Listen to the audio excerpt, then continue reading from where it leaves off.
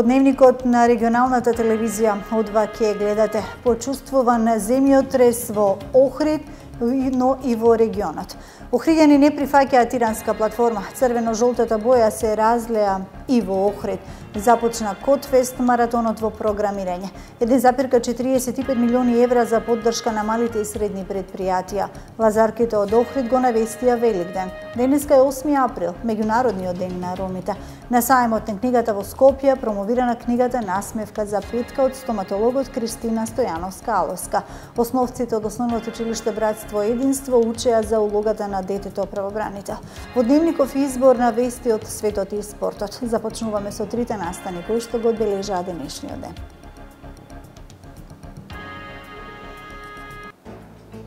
Црвено-жолтата боја се разлеа во Охрид, но и низ многу градови низ Македонија.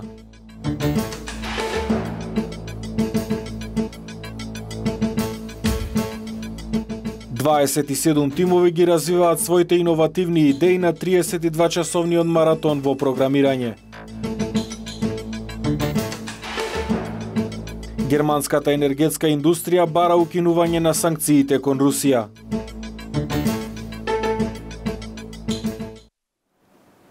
Саботно издание на дневникот на регионалната телевизија О2. Земјотрес ги вознемири граѓаните на Охрид. Попладнево, во 15 часот и 53 минути, земјотрес со јачина од 5 степени според Европската макросеизмичка скала беше почувствуван во Албанија, Црна Гора, Македонија, Грција и Србија. Земјотресот бил со длабочина од 10 километри. Епицентарот на земјотресот на 55 километри северно од Тирана. Земјотресот беше почувствуван и во Охрид и предизвика вознемиреност кај населението. Охриѓани денеска со дефиле на автомобили, од кои што се вееше македонското знаме, ја искажаа својата поддршка за заедничка Македонија и порачаа дека се против тиранската платформа.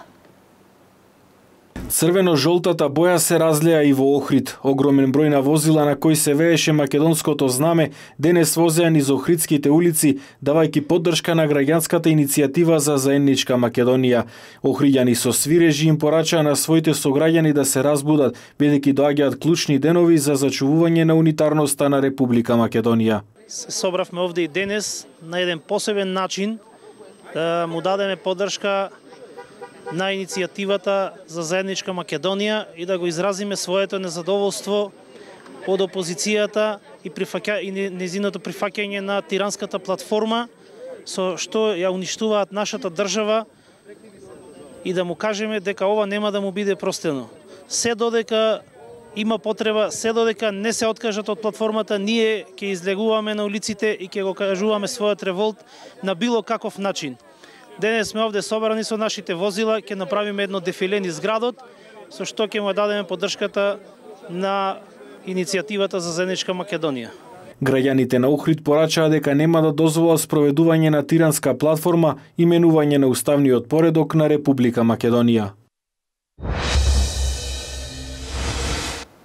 Граѓанската иницијатива за заедничка Македонија со голем број автомобили накитени со македонски знамења од спортските центри Борис Трајковски и Јане Сандански се упатија кон собранието на Република Македонија како крајна дестинација. Со автомобили се лее црвено-жолтиот бран низ Скопје и низ повеќе градови ширум Република Македонија. Од иницијативата за заедничка Македонија порача. На 41-виот ден од нашите маршеви решивме да го посетиме добро разбудениот град, дека наредната недела, која што доаѓа е клучна недела, особено првите три дена, понеделник, вторник и среда, истакна еден од организаторите на активностите на граѓанската иницијатива за заедничка Македонија Богдан Илиевски. Она што се обидува да го направат во четвртокот на шверцески начин да изберат председател на собранието кој што не се откажал од тиранската платформа и веднаш потоа ќе преминат на изборна влада, ќе се обидат сосема сигурно во еден од овие три дена пред Великден да го направат и тоа не смееме да им го дозволиме и нема да го дозволиме. Ке бидеме будни, ке следиме се што се случува, ке следиме многу внимателно и ке реагираме во секунда, истакна Илиевски. Илиевски апелираше да не се обидуваат да сторат такво ништо. Затоа се возевме денес да ги подсетиме граѓаните будно да внимаваат што ќе се случува. Многу важни три дена на почетокот на идната недела следуваат. Тиранската платформа беше презентирана на Божик намерно за да не предизвика големи реакции, бидејќи за празник секој си има други приоритети. Истото ќе се обида да го направат пред Великден. Овој пат нема да помине без реакција, додава Илиевски кој посочи сите да се мобилизираат во овие три дена и да биде масовно пред собранието. Отворен Котфест програмирскиот маратон 27 тимови во текот на 32 часа ќе разработуваат иновативни идеи и програмски прототипи. Најиновативните млади програмери ќе добијат финансиска поддршка од Фондот за иновации и технолошки развој. Започна 32 часовниот маратон во програмирање во рамки на Котфест фестивалот. 27 тимови од регионот поделени во три категории ќе разработуваат иновативни идеи и програмски прототипи. Оваа година од 57 апликации имаме 27 тимови, од кои 7 во јуниорите, 13 во студентскиот дел и 7 во професионалните тимови. Па во главно оваа година учесниците се од Македонија и од соседните држави. Поточно од Косово имаме два тима кои се дојдени. Организаторите очекуваат и оваа година од настанот да произлезат голем број идеи кои подоцна ќе бидат пласирани на пазарот има доста различни идеи. Во овој момент ги, ги прикажуваат нивните а, а, првични презентации, односно представуваат на што ќе работат, па има можеме да слушнеме доста интересни идеи од а, cloud payment systems до augmented reality апликации до апликации кои ви кажуваат што да јадете кога ќе стигнете дома. Така да навистина интересно оваа година. Манифестацијата ќе биде заокружена в недела кога ќе бидат презентирани проектите на надпреварувачките тимови, пошто ќе следува прогласувањето на победници патниците. Во Охрид денеска, Центарот за развој на Југозападниот плански регион и Фондот за иновации и технолошки развој одржа инфосесија за четвртиот повик за инструментите кофинансирани грантови за новоосновани трговски друштва, стартап и спинов и кофинансирани грантови и условени заеми за комерцијализација на иновации.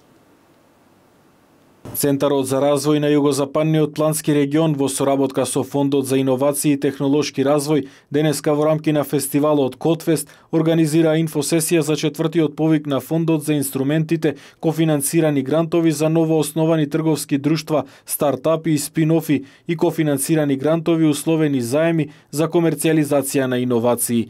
Како што истакна директорката на фондот Јасмина Поповска, повикот е отворен до 3 мај оваа година и е добра можност да се поттикне на малите и средни предпријатија од регионот да развијат проекти кои ќе подобра нивната конкурентност и истовремено ќе придонесат за развој на економијата во југозападниот плански регион. Доделуваме 1 милион и 450 илјади евра на 25 компании, од кои што очекуваме 15 да бидат стартап млади компании со иновативни решенија. Оваа поддршка веќе ја даваме трета година поред и се надеваме дека ќе имаме добри апликации на овој повеќе. Целта на инфонастанот беше да се дадат детални информации за фазата на аплицирање, објаснување на критериумите, информации за подготовка на буџетот и информации за правилникот на инструментите. Инфосесијата беше отворена за сите заинтересирани субјекти за добивање информации за грантовите што се доделуваат од страна на Фондот за иновации и технолошки развој преку отворените инструменти за финансирање на мали и средни предпријатија и стартапи. Се враќаме повторно на локални теми.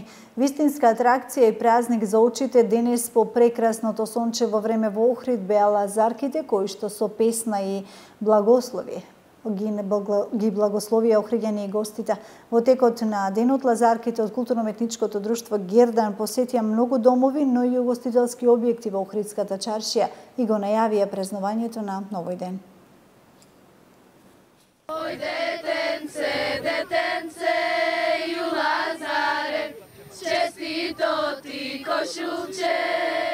Лазарките од Охрид го навестија Великден. Младите играорки од културно-медничкото друштво Гердан, облечени во посебни носи, пееја песни за Лазар и даваа благослови за здравие, среќа, свадби и дечиња. За возврат домакинките им ставаа јајца во кошничките, украсени за овој ден. Веќе четврта година поред одиме како културно-метничко друштво на стариот дел од градот и ги радуваме по старите лица и кои не даруваат секоја година со различни предмети, не даруваат со јајца, бомбони, чоколади.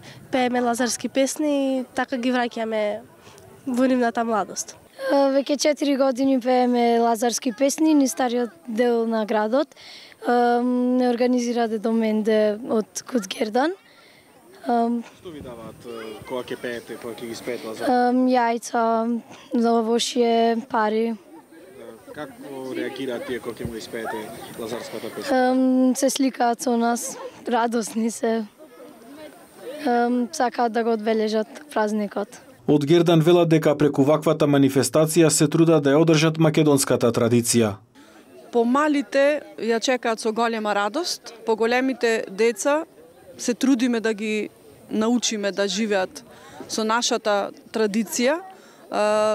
Среќа е во денешно време да се извлече дете од дома во раните утрински часови, да пее лазарски песни по, по куќите, поради што живееме во едно друго време, но неколку недели однапред веќе ние вежбаме, спремаме програма, така да има добар прием и кај децата.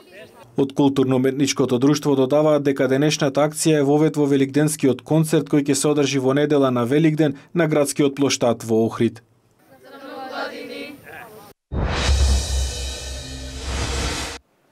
Одбележан светскиот ден на ромите во Битола. Според организаторите на прославата, ромската заедница бележи напредок во однос на интегративниот процес во општеството, но во делот на образованието се уште стагнираат. Како граѓани на Македонија истакнаа дека работат на решавање на проблемите кои што настанаа со политичката криза и додаваат дека Македонија е нивна држава и друга немаат.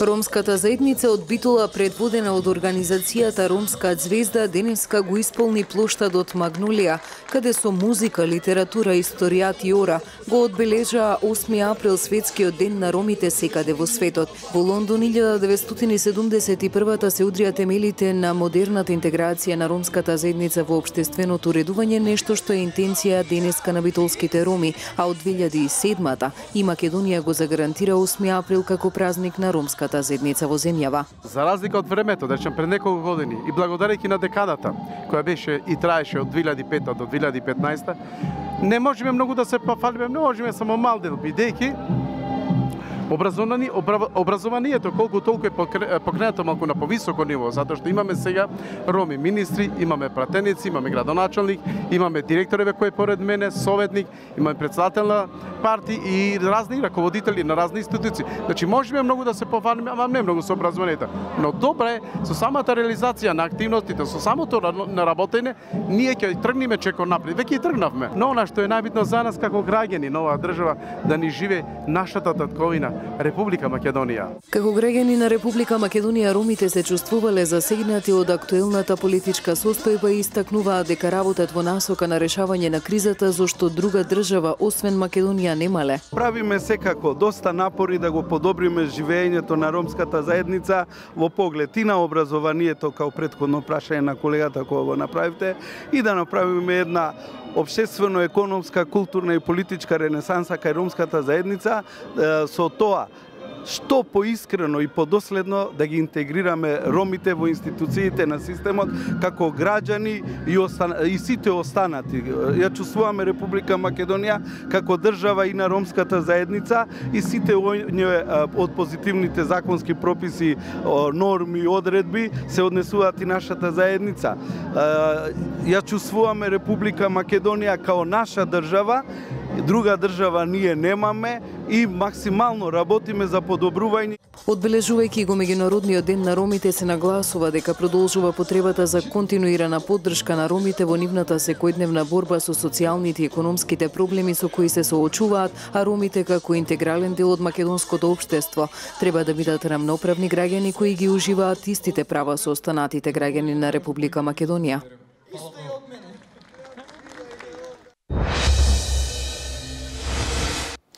На 29-тиот сајм на книгата во Скопје беше промовирана книгата Насмевка за петка од доктор Кристина Стојановска-Аловска. Книгата е во издание на Едукамак од Скопје, а е поддржана од Министерството за култура на Република Македонија.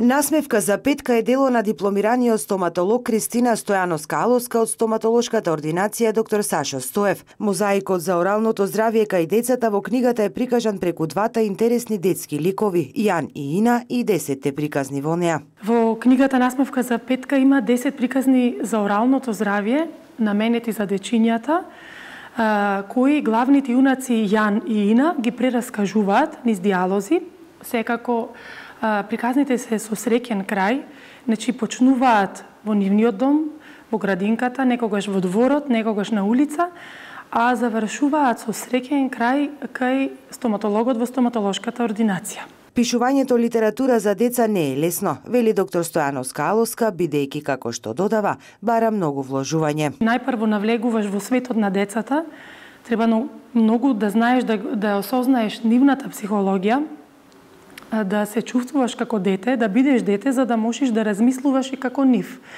И да бидеш сигурен дека тоа што го пишуваш ќе им се допадне и дека ќе е интересно за нив. А, детската психологија е еден посебен детски свет во кој што владеат правила кои што ги измислуваат и важат само за дечињата.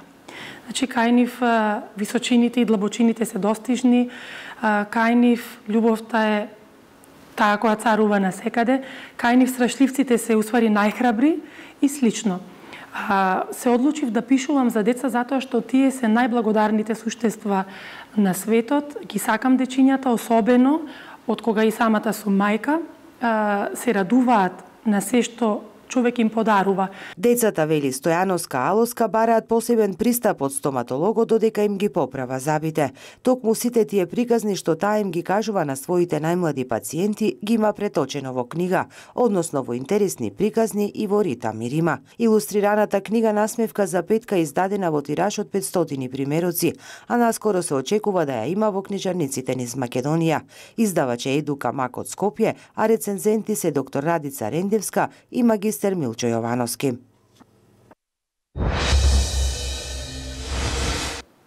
Во рамки на редовните активности на коалицијата на младински организации Сега и Младински совет Охрид во подрачната зграда на Основното училиште Братство и Единство се одржа првиот од двата инфоденови за дете правобранител предвидени за ова училиште. Околу 50 деца од паралелките на македонски и на албански јазик од Основното училиште Братство Единство имаа можност да се запознаат со улогата на детето правобранител како адвокат за детските права и да дознаат повеќе за Конвенцијата за правата на детето. Предвидено е вториот инфоден за единствената мултиетничка образовна установа во Охрид да се одржи до крајот на месец април и на него да присуствуваат уште најмалку 50 ученици кои учат на македонски и на турски наставен јазик. Сите овие активности се одвиваат во рамките на проектот за имплементација на Конвенцијата за правата на детето во Република Македонија, кој што се спроведува веќе седма година и во кој освен нашата општина вклучени се и Струга, Дебар, Кичево, Тетово, Гостивар, Куманово, Кавадарци, Прилепи, Битола. Во дневникот на одва почитувани проследете го и графичкиот приказ на временската прогноза.